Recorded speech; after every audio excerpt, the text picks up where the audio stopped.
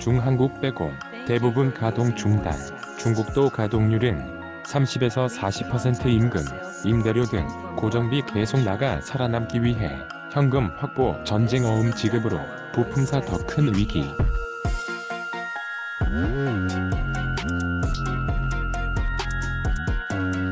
포드, GM, 급여 삭감하거나 유예 코로나 바이러스 확산으로 2일 한국 시각 현재 전 세계 주요 자동차 공장 73%가 셧다운된 것으로 확인됐다.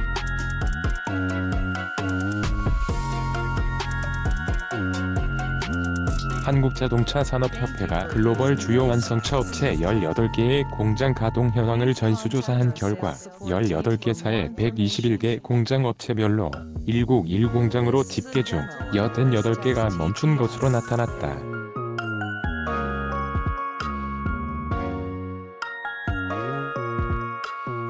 북미, 남미, 유럽, 러시아, 인도의 58개 공장은 모두 문을 닫았고 예정 포함 일본, 태국의 17개 공장도 절반 8개가 가동을 멈췄다.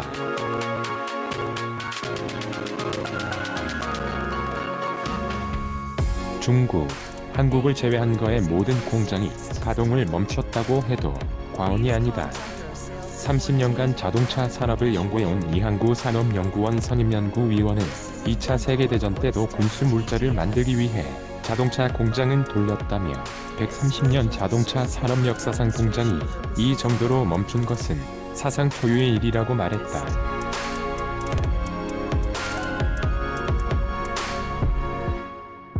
(3월) 판매 폭락은 시작에 불과 현재 전 세계에서 자동차 공장이 제대로 돌아가는 나라는 우리나라 외에 찾기 어려운 상황이다.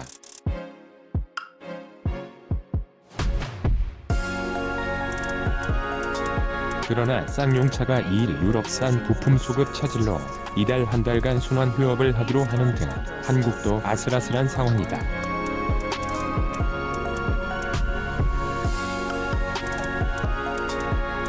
중국은 공장이 가동되고는 있다지만 실제 가동률은 30에서 40% 수준이다. 자동차 산업협회 관계자는 실질적으로 전 세계 자동차 공장의 80% 정도가 멈췄다고 봐야 한다고 말했다.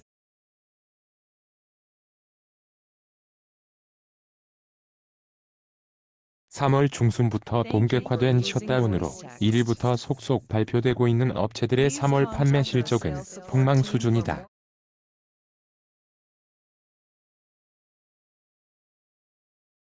현대차는 미국 판매가 43% 감소했고 인도에서는 47% 줄어 반토막 났다. 전체 해외 판매량 감소 마이너스 26%는 금융위기 2009년 1월 이후 최악이다.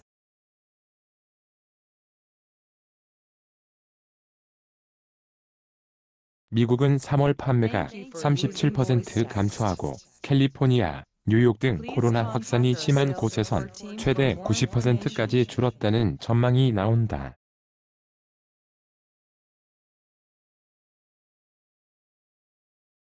프랑스는 지난달 자동차 판매량이 전년 동기 대비 72% 급감했다고 발표했다. 이탈리아는 86%, 스페인은 69% 감소가 예상된다.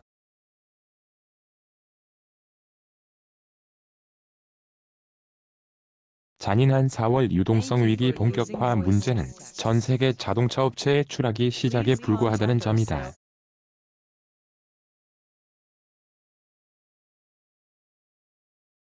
열여덟 개사의 대다수 공장은 이달 중순까지, 길게는 이달 말까지 셧다운한다. 그러나 추가 연장 가능성이 크다.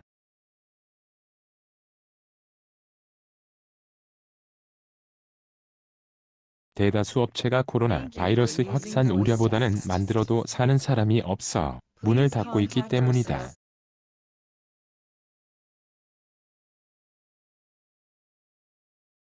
각 기업은 생존을 위한 유동성 확보 전쟁을 벌이고 있다.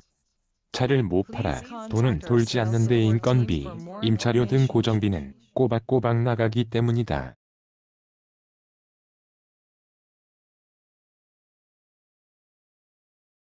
코로나 위기 이후의 대기 수요에 대응하고 실적을 만회하려면 일단 살아남기가 최대 숙제다. GM은 쓰지 않고 있던 한도 대출 통장에서 150억에서 160억 달러 약 18조에서 19조 원을 인출해 현금화했다.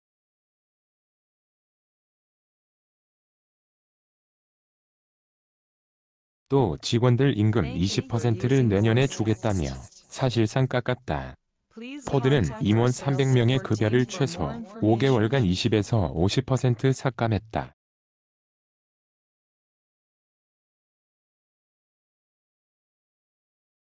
전 세계 공장 중 70%가 멈춘 현대차도 적자 상황에 직면해 있다.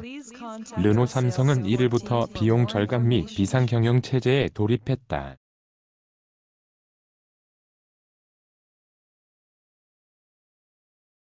중소기업인 자동차 부품사들은 더 큰 위기에 처해 4월 도산설이 돌고 있다.